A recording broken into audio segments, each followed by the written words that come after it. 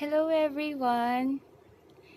It's um almost 5:20 in the Philippines.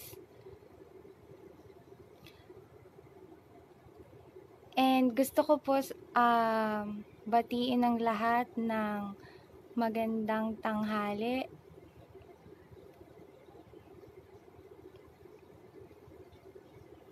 And our topic for today at gusto ko pong i-share sa inyo ang matrix selling advice for today is how to start an online business and how to be a reseller.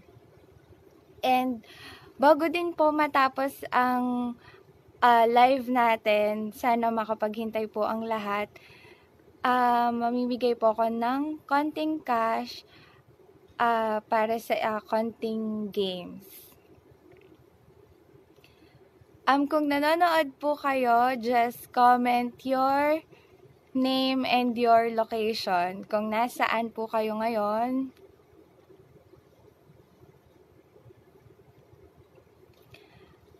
Um, gusto ko pong mag-start na doon sa topic na binigay or pinost ko yesterday tungkol sa how to start an online business.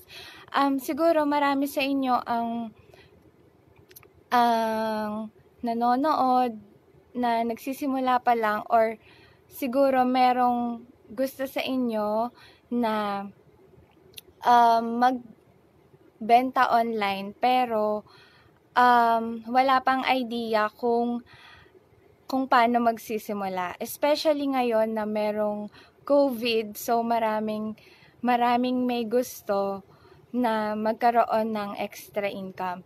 Uh, by the way, um, I'm just sharing this uh, uh, topic to everyone based on my personal experience. And um, disclaimer lamang po na hindi pa ako business expert, hindi pa ako talagang sobrang mayaman and nag start pa lang ako sa business. And ha, habang ako ay nandoon sa process, uh, gusto kong i-share sa inyo yung mga learnings ko na natututunan uh, along the way. So, may mga ginagawa akong pag uh, nag-aaral ako, and gusto ko yung mga natututunan ko, uh, ma-share ko din sa mga distributors namin, at saka dun sa mga magiging distributors and resellers. So, hi Ma'am Jeng from Morong Rizal. Thank you for watching. Um, how to start an online business. First thing, um, think of a product that you want to sell. So, yun yung isa sa pinaka-importante bago ka mag-start sa online business.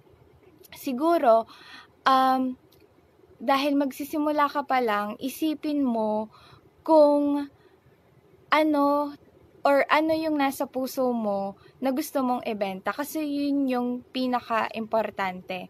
Hi Ma'am Glenn from Batangas. Um, please, guys, please share yung live natin para po um, dun sa mga nag-start pa lang na magbenta or dun sa mga gusto pang magbenta in the future para po makita nila ma-share ko yung learnings ko sa kanila. So, balik tayo.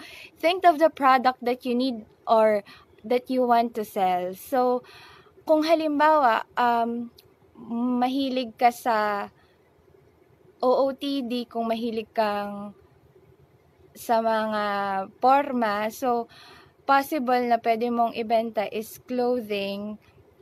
Tapos, kung halimbawa mahilig ka naman sa cosmetics, pwedeng cosmetics.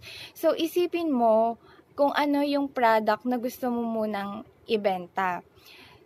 Uh, next one is create an account. So, yun yung pinaka-importante kasi mostly, yung mga um, mga nagsisimula or yung pinaka madaming um, engagement or audience as of today is Facebook. So, um, mas okay na mag-start ka muna sa Facebook. Um, better na maggawa ka ng separate account from your personal account. Para kung halimbawa na meron kang mga prospect na buyers in the future, hindi siya maghahalo doon sa personal account mo. Um, number three is start adding friends that relates to your product. So, halimbawa, uh, katulad ko, um, pati din ng mga distributors namin, um, since uh, nasa skincare line kami, so, pwedeng ang i-add mo na product is yung um, uh, i-add mong friends sa iyong Facebook account is sa tingin mo ay uh, magbebenta or bibili ng product mo. Mostly kasi yung mga nangyayari ngayon online is um, ang lumalabas na kapag gumawa ka ng new account is ang lumalabas is yung mga mutual friends. Um, based sa experience ko from selling online since 2010, most of my mutual friends ay hindi are mostly talaga hindi sila bumibili. Kasi mostly, yung mga common friends sa Facebook, it's either a family, a relatives, or a friends. And yung masakit sa mundo ng online, online business, is yung mga kaibigan mo, yung kapamilya mo, yung relatives mo, or yung mga kaibigan mo, minsan sila yung hindi sumusuporta sa pagbebenta mo. Um, minsan kasi hihintayin muna ng mga kamag-anak mo, ng family mo, or mostly talaga ng mga kaibigan mo na bumenta ka muna, may mapatunayan ka. Um, siguro, siguro, real talk din siya para sa ating lahat na hindi lahat ng tao sosoportahan ka. So, Next, number four is select a payment gateway. So, ito po is, um, yung payment gateway is like a mode of payment. So, i ililista mo na kung anong possible or easy sa lugar mo ang mode of payment. Kung kung ikaw ay estudyante, pwede kang mag-start muna for remittances or kung makakakuha ka na ng mga bank accounts like most common kasi sa online BDO, uh, Metrobank, yung mga common na mga bangko. Minsan kasi, um, lalo na ngayon, ngayong generation natin, gusto ko na kasi agad ng mga tao is instant. So, minsan, instead of pumipila pa sila through remittance, remittance center, minsan, mas prefer na nila kung may bank account ka. So, kung ikaw ay estudyante, I think meron ang mga bangko na ino-offer na para sa mga estudyante. So, pwede kang mag-open ng bank account or um, kung remittances naman yung gagamitin mo, pwedeng uh, mag, kailangan syempre, meron kang valid IDs, at least 2 2 to 3 valid IDs. Tapos, um, once na naset mo na yung payment gateway mo or yung mode of payments mo, pwede, pwede mo na siyang iset up or sa online or Facebook or any uh, platforms para if in case na may buyer ka, nakahanda ka na. So, number five, pricing your product. Um, so, pricing your product. So, importante din bilang isang magsisimula ang pricing ng product. Um, yung na-experience ko way back 2010, um,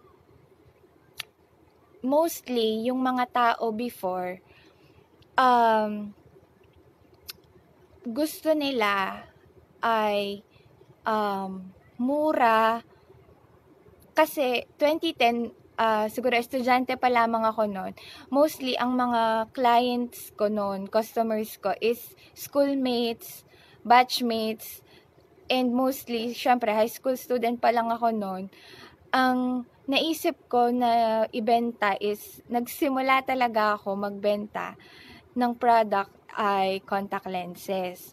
And I started na since nung mga panahong yon usong-usong contact lenses, so yun yung naisip ko na na product. So yung pricing ng product ko dati is nagre-range lamang to 250 to 300 kasi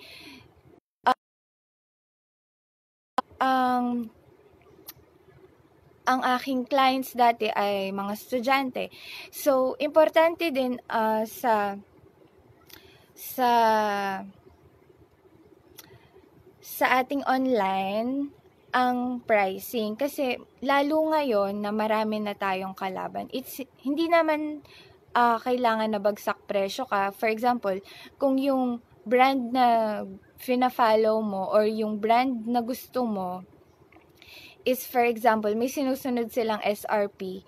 So, pwede na sumunod ka sa SRP or kung isa kang reseller, kung gusto mong magkaroon ng dagdag kita, maybe pwede kang magsimula sa For example, ang SRP ay 300.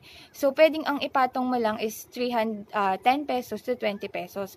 Para kasi yung competition online, lalo ngayon, is napaka, napaka, kumbaga, napakalawak. So, importante na yung pricing din abot nung market mo. Kasi kung yung market mo, halimbawa sa, sa province mo, um, ang Hello guys, naririnig niyo po ba ako? Comment po kayo kung naririnig niyo ako. Hello? Okay. Naririnig niyo ba ako? Okay. So, um, yun nga syempre mag-think of a reasonable price na sa tingin mo ay patok sa sa sa community or sa market mo. At ang pinaka-importante, mag-start ka muna sa mura. Next. Okay, thank you Ma'am Glenn sa pag-respond. Next one, mag uh, launch your target campaigns. So, yung target campaigns um, mag-iisip ka ng uh, paraan kung paano ka makakabenta. Lalo ngayon, for example, kung ang lugar mo, thank you, hi Ma'am Grace, Grace Marbibi, hello po. Um, yun nga, launch your target campaigns. Ngayon, dahil malaki na ang online business, madami nang nagbebenta, mag-isip ka ng paraan kung paano ka makakabenta. Ngayon, dahil yung technology natin is um, medyo advanced na, so pwede na tayong gumamit ng iba't ibang target campaigns. Like, halimbawa, um, pwede kang mag mostly yung mga tao ngayon ang hinahanap sa isang product or uh, mostly sa sa skincare. Ang mostly ang hinahanap ng client sa skincare ay yung may feedbacks. Tapos, yung target campaigns din is uh, isipin mo kung sino ang ima-market mo. Kung magfo-focus ka ba sa mga lalaki, sa babae, sa estudyante, sa nanay, sa tatay, or lahat. So, kailangan mong mag-isip ng product, uh, ng target market. Okay. So, minsan, ang ma-encounter natin is um, mabagal. So, yung progress is slow. Um, you just have to, okay, we're back. You just have to be passionate of what you're doing. Kasi sa una, syempre, mabagal, mabagal ka. Kung baga, um, nakapag-post ka na ng products na for example, 10 posts sa isang araw, pero wala pa rin bumibili. Um, sa una talaga, first 3 months, or siguro first first few weeks mo sa pagbebenta, since simul- nagsisimula ka pa lang, um, minsan wala talagang papansin sa'yo. Pero kung consistent ka sa ginagawa mo, um, dadating yung panahon na um, magkakaroon din at kahit isa or padalawa-dalawa na benta. Hi, Ma'am Bernal Marian. Hello po. Tapos, lastly, is start building a community even you don't have an idea yet. So, yun yung pinaka-importante din is mag-start kang mag-build ng sarili mong identity.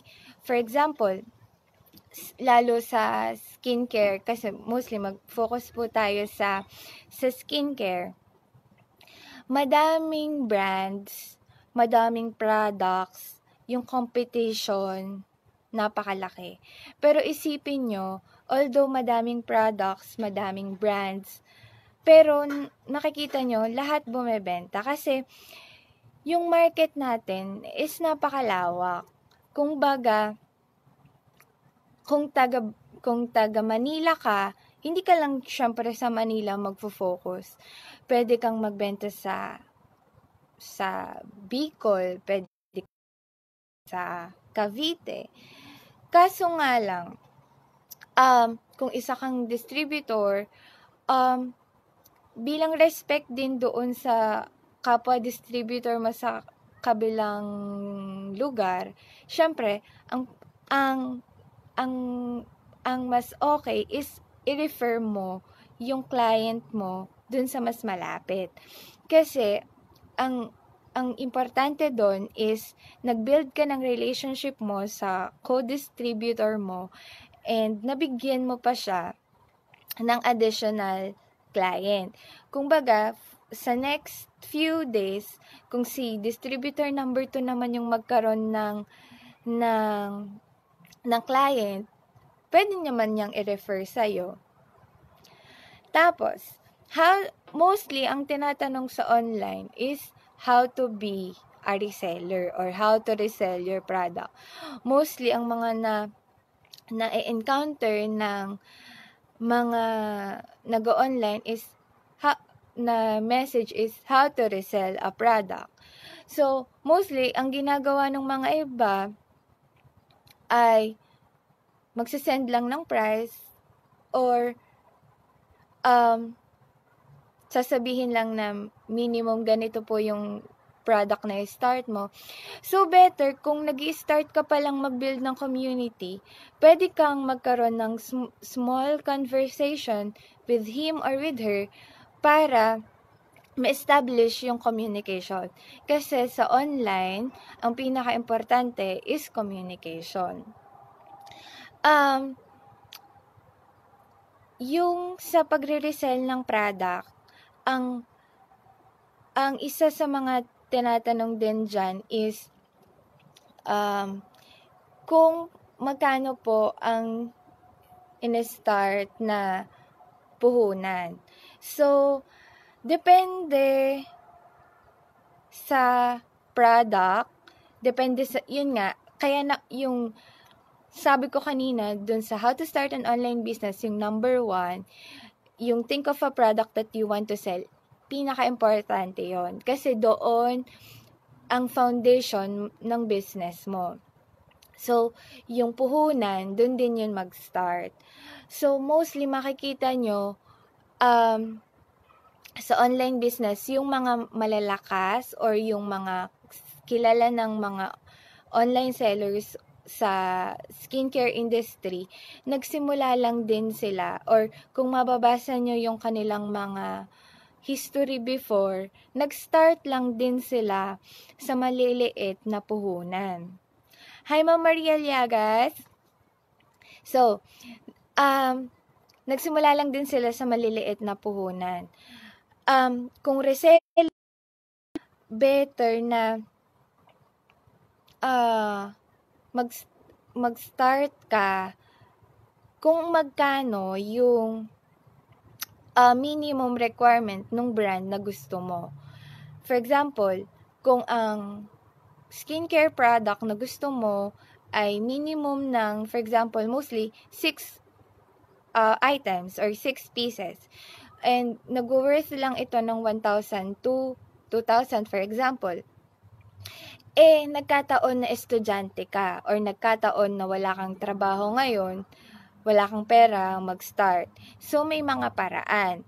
Ang number one na paraan, since naka, naka-establish ka na ng account, Facebook account, Instagram account, or kung anumang platform yung gagamitin mo, kung wala kang talagang as in na puhunan, ay mag-start ka muna mag-post.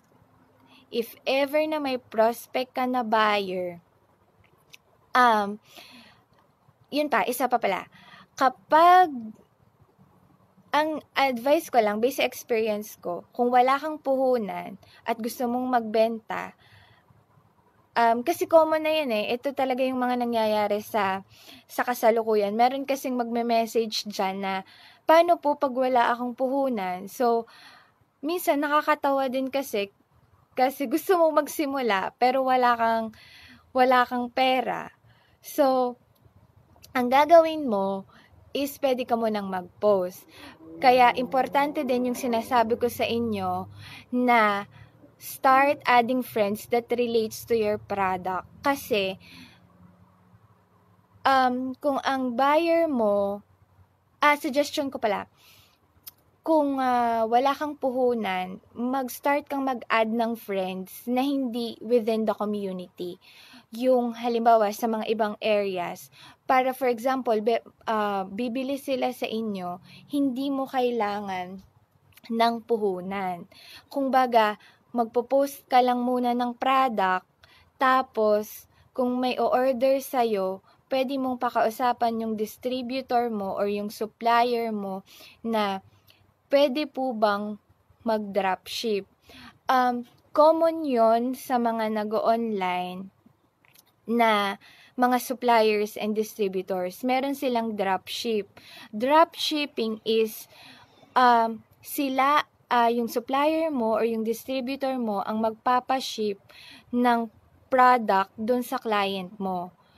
Um, kailangan mo lang hingin ang information ng um, ng client mo and then isend mo yung bank details mo or yung mode of payment mo, yung payment gateway na sinasabi ko sa inyo kanina, and then, saka mo siya bayaran dun sa supplier mo. Para kung wala kang ilalabas na pera, ah, uh, konting tubo dahil doon sa dropship mo. Um, kung ang ang scenario naman ay uh, wala kang puhunan, tapos ang client mo ay within your area, yun yung mahirap. Kasi mostly kapag ang client mo ay within your area, tapos wala kang puhunan, hindi ka unang-una, hindi ka makakakuha sa supplier mo ng product unless na lamang ang iyong supplier or ang iyong distributor ay sobrang bait at pahihiramin ka ng product or items para lang makapagbenta ka. Pero hindi lahat ng supplier or distributor ay nagpapahiram ng products. Kaya swerte nyo kung kayo ay pinautang or pinahiram ng product ng, ng inyong mga distributor dahil ibig sabihin nun malaki ang tiwala nila sa inyo. So, kaya ina-advise ko na kung mag, mag start ka pa lang ng online business mo, mag, mag-add ka ng friends na related sa product mo na hindi sa area mo. Kung wala kang puhunan, pero kung meron, pwede naman yung within the area. Tapos, kapag magre-resell ka ng product, iisipin mo yung product na hindi pa masyadong um, wala pa sa area mo. Kasi for example, um, meron, uh, for example, taga Manila ka. Tapos, nakita mo sa Facebook na ang trending ay um, ano bang common na product? For example, sabon. Nag-trending si brand ito. Tapos, nakita mo sa sa community mo na madami nang nagbebenta nito. Although, minsan, effective din yung um, trending products kasi kung may maghanap sa'yo, um, okay din. Pero kung halimbawa, um, mag-isip ka din ng product na sa tingin mo ay wala pa sa community nyo, pero sa tingin mo ay kailangan ng community. Kasi, for example, yung brand X na sabon, trending. Pero madami na sa community mo. Tapos, magkakaroon na ngayon ng competition. Although, competition is good, pero mag-isip ka ng product, halimbawa, brand X soap. Um, yung brand X soap, may nakita kang ibang brand for example, brand Y, na hindi pa naman bumebenta din siya, pero hindi pa ganun kasikat sa inyong area. So, pwede kang brand Y ang bilhin mo and yun yung dun papasok yung yung target campaigns. Yung maglo-launch ka ng target campaigns.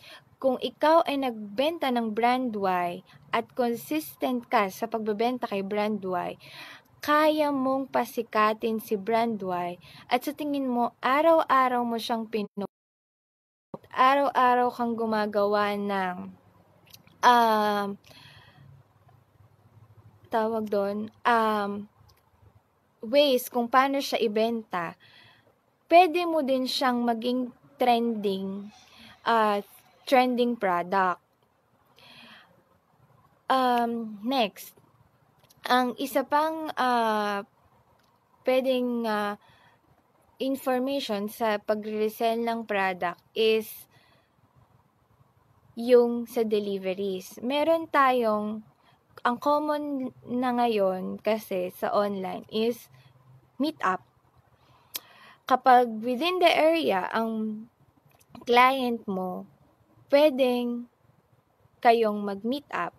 Meron din naman na kung ikaw ay within Manila area or NCR area, meron din tayong mga ang couriers na same day ang shipping like Grab, Lala Move, or yung kahit anong riders na pwede nyong gamitin para um, makapag-start sa delivery kasi mostly talaga ng client sa online ay nag ang gusto ay mabilisan. Yun na kasi, yun na talaga kasi ang trending sa online. Next, um, ano pa ba? Yung, kung may mga questions kayo or may mga uh, suggestions para sa mga manonood, pwede nyo din po siyang i-comment dito para masabi natin. Para dun sa mga distributors namin and resellers, yung mga experiences nyo na na-encounter nyo, pwede nyo siyang i-comment dito para uh, masasabi ko siya sa ating mga viewers at dun sa mga nag-start pa lang ng online selling. Um, next. Uh, paano po ba ang Okay, eto na. Paano po ba, ma'am, kung nag-post na ako pero wala talagang bumebenta?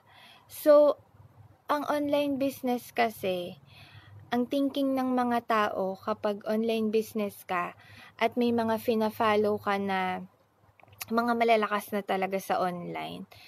Ang iniisip ng mga tao kasi is ang online ay instant ang pera. Um, way back uh, 10 years ago, yun din ang nasa isip ko. Sa online business, sa online selling, mabilis ang pera. Mag-post ka ngayon, magbenta ka ngayon, uh, may kita ka. Ang pinaka-importante sa isang online seller, ikaw man ay reseller or distributor, ang pinaka-importante ay marunong kang mag-save. Dahil kahit gaano kalaki ang kinikita mo sa online, kung hindi ka nagsisave, ay wala ding mangyayari. Example, nag, uh, yung puhunan mo sa product ay 100 pesos. And then, yung, yung tubo mo, pa, uh, ibinenta mo siya ng 300 pesos. So, may 200 pesos kang tubo. Ngayon, um, dahil may 200 pesos kang tubo, sa halip na ang ginawa mo ay idinagdag mo doon sa sa um, sa iyong puhunan dahil natuwa ka at nagkaroon ka ng 200 pesos, ang ginawa mo, kumain ka. Kumain ka ng worth 150 pesos. Dahil sa isip mo, ang alam mo, kumita ka ng 200 pesos, hindi mo naisip na may expenses ka palang kain. Kain na 150 pesos. So, parang ang naging tubo mo na lang is 50 pesos. Um, ang, sa, ang suggestion ko lang or advice sa mga nagsisimula, lalo na dun sa mga reseller, kung alam nyo na ang puhunan nyo ay kakaunti pa lamang, hanggat hanggat maaari ay wag na wag ninyo munang gagalawin ang inyong mga tubo sa first 3 months ng inyong pagbebenta. Kung nagsimula ka as in sa wala at tumubo ka ng 500 to 1,000 pesos, wag ka mo, syempre, overwhelmed ka dahil tumubo ka. Pero hanggat maaari, mag-less ka ng expenses. Kung halimbawa na pwede ka namang kumain muna sa bahay, gutom na gutom ka na, pero nakita mo, nag-deliver ka, nag-meet up ka, nakita mo may masarap na pagkain, Jollibee, McDo, or something na na na gustong gusto mo. Pero kailangan mo munang iset aside yung kagustuhan mo para may pandagdag ka sa puhunan dahil kung marami ka ng puhunan sa mga susunod na buwan or sa susunod na mga araw at malaki na yung pinapaikot mo, hindi uh, kung malaki na yung pinapaikot mo, sa mga susunod na buwan, pwede ka nang kumain sa labas or gumastos ng extra. Kung sa tingin mo ay sapat na ang iyong puhua o kung malaki na yung puhunan mo. Pero kung hanggat maaari, please, kung nagsisimula ka pa lang at nagkaroon ka ng konting kita, huwag ka munang ma-overwhelmed. Kasi kaya yung iba nag-fail sa online business. Kasi naubos na yung tubo, naubos yung puhunan, ang ending, nag-back to zero sila. Kasi automatic minsan, or kung sa mga distributors, uh, kung ang kita na ng nating mga distributors ay nag-range na ng 10,000 to 20,000 pesos, dahil marami na tayong resellers, sa tingin mo, for example, ito ang example, ah, uh, distributor ka, madami kang reseller. Ngayon, wala kang sasakyan. Wala kang sasakyan. Ngayon, dahil nahihirapan ka na na mag na mag magbenta or mag-deliver dahil madami ka ng madami ka ng uh, dinideliveran or madami na yung product na dinideliver mo. At ang thinking mo, dahil nakikita mo sa online is, ah, si, si, si ma'am ganito bumili na ng bagong sasakyan. Si, si sir ganito may bago ng motor. And ang thinking mo, dahil malaki na yung kinikita mo, ang naging thinking mo, bibili ka ng sasakyan. Hin, um, nung mga first few years, yun din ang thinking ko. And nung nag-aaral ako, nung nag-aaral na akong, hindi pala yon yung tama. Hindi pala, hindi pala yon yung proper way. Um, ang best daw or better na gawin since halimbawa distributor ka at yung product mo is madami na maghanap ka muna ng alternative. For example, sa pagde-deliver, nahihirapan ka na mag-deliver. So, ang gawin mo, it's pwede kang mag-rent ng sasakyan. I-compare mo yung pagre-rent mo. First, magre-rent ka.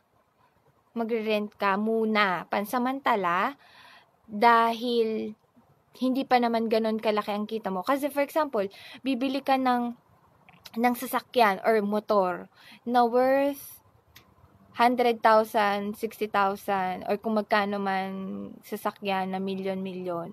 Magma-monthly ka, for example, ng pinakamababa na ngayon, 15 to 16,000. Yung kinikita mo buwan-buwan, na sa halip na, nag, although, sa renta, kasi mag, sa renta ng sasakyan, magbabayad ka kada deliver.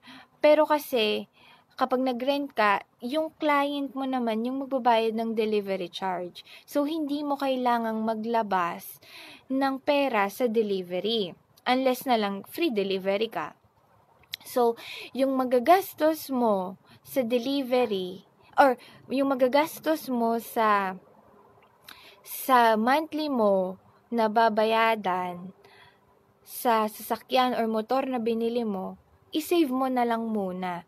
Instead, mag-hire, uh, mag-rent ka muna ng sasakyan or gumamit ka ng iba't ibang riders para sa delivery ng products mo. Kasi, kung iisipin mo na hindi mo pa naman priority yung sasakyan, pwede mo muna siyang iset aside. So, nandito. So, may comment si Ma'am Bernal na gusto niya mag-resell ng products pero wala siyang puhunan. So, Ma'am Bernal, yung uh, suggestion ko muna kung wala pa po kayong puhunan para kayo makastart ng products, uh, mag-focus muna kayo sa mga target communities nyo na outside your area. Tapos, um, kung may pros- prospect kayong buyers, pwede po kayong uh, maghanap ng suppliers or yung distributor na malapit sa area nyo. Um, pwede po kayong magpa-dropship. Para if in case na may tutubuin po kayo, mayroon na kayong pag startan ng inyong product na ibebenta. So, si Ma'am Elena din. Hi, Ma'am Elena.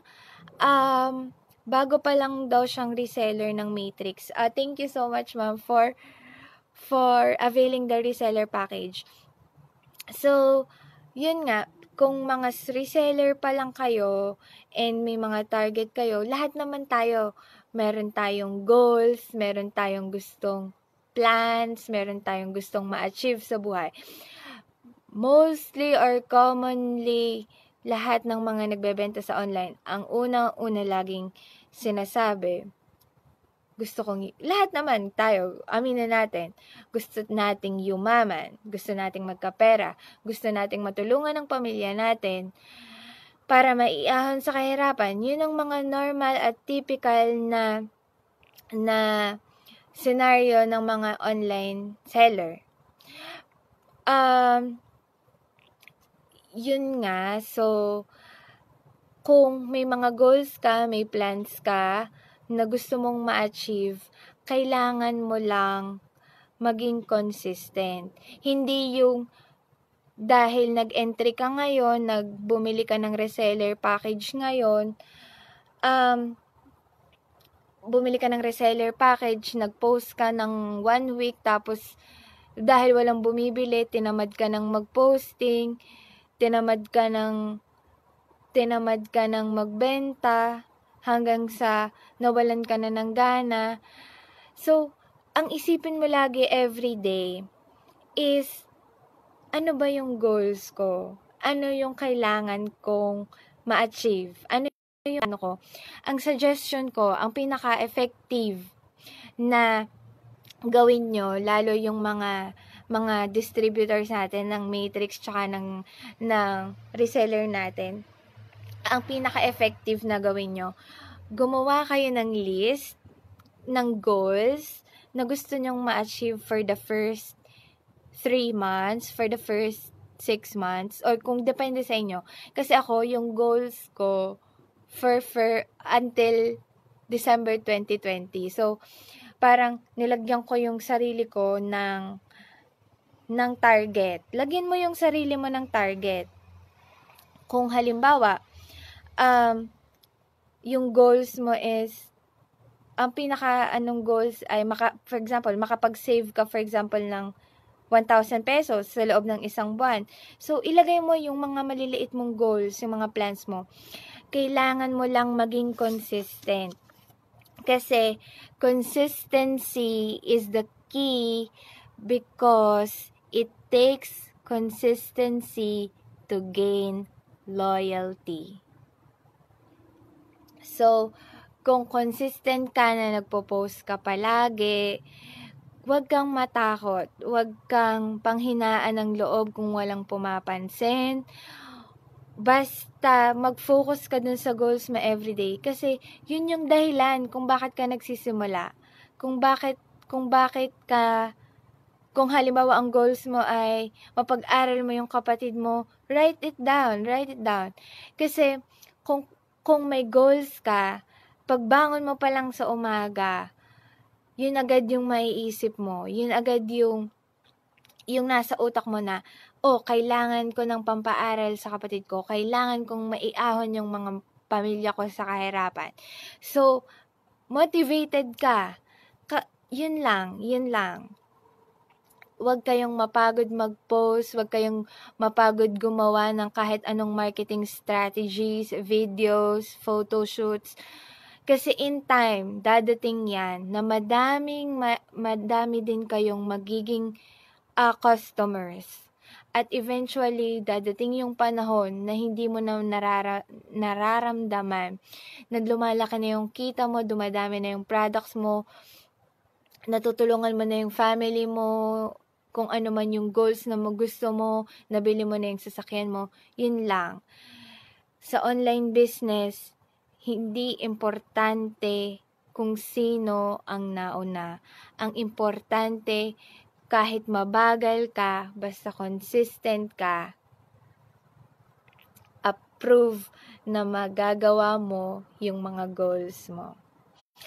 Questions kayo, mag-leave lang kayo ng comments and then pwede ko po kayong i-message or um, uh, message nyo lang po ako at uh, sasagutin ko po kayo. Um, yung cash prizes na raffle natin. So, ang kailangan nyo lang pong gawin is screenshot uh, ano no, ang kailangan nyo lang pong gawin is i-share itong um, live na ito, ngayon na, i-share nyo itong live na ito, and mamaya, meron po akong isang questions.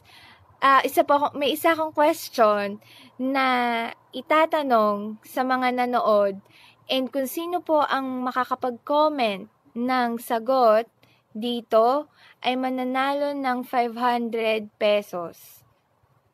Okay po? 500 pesos, ang gawin nyo lang po is i-share nyo ang live na ito at meron po akong question na itatanong mamaya and uh, kung sino po yung makakapag-comment ng sagot, yung first na makakapag-comment, first na makakapag-comment ng tamang sagot, ay mananalo ng 500 pesos.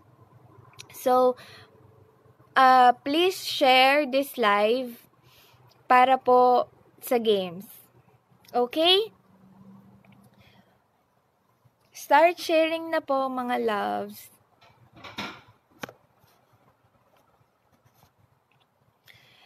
So, mag-iiwan po ako ng question dito at yung mag- makakapag-comment ng tamang sagot, uh, i-check po namin mamaya kung sino yung una na makakapag-comment ng tamang sagot dito ay mananalo ng 500 pesos load. So, ang question ko is, ito na. Ay, ang question ko po ay, based dun sa live ko, ano ang, uh, isang word lang to, isang word lang. Ano yung pinaka-importante sa online selling or sa pagbebenta?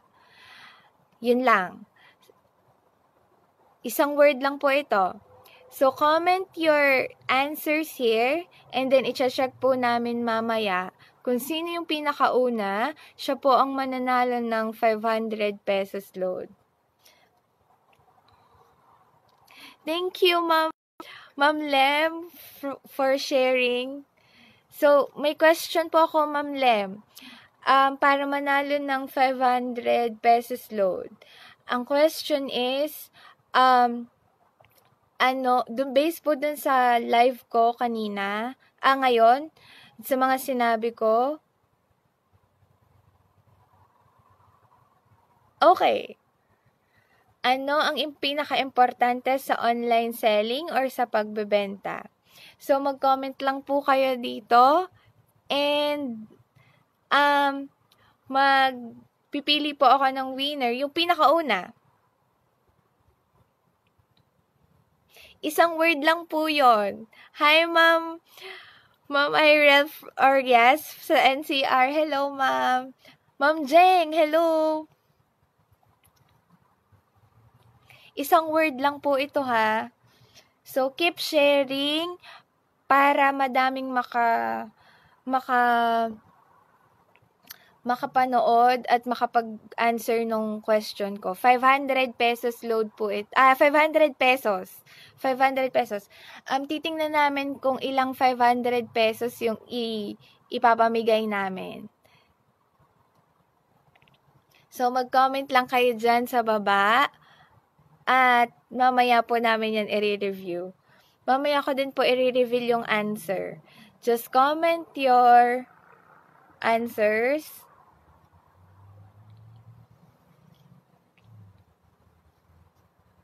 Dapat yung, yung share is naka-public po. Ang importante, nakapag